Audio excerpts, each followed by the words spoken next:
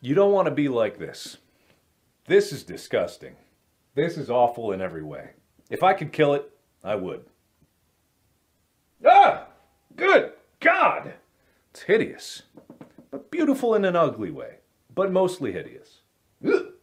Now the main problem area is up here. All of this going on up here is what's causing me the most physical discomfort. It's like a visceral reaction of discontent coming from this area. This area is not good either. I hate this, but I'm mainly worried about this.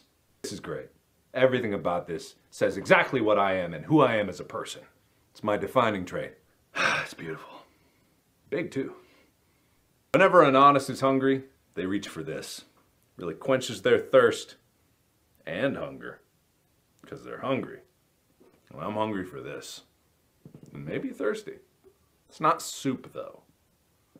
Whenever I need a quenching, refreshing beverage, I reach for one of these. Really evens out the cravings if you know what I'm talking about. Oh wow, I've never been to one of these clubs before. Whoa! this kind of person. Pathetic. Everything about this does not represent what an honest truly is about. You should be ashamed of who you are and what you've done. Can't believe that I'm even within arm's reach of you. Puh.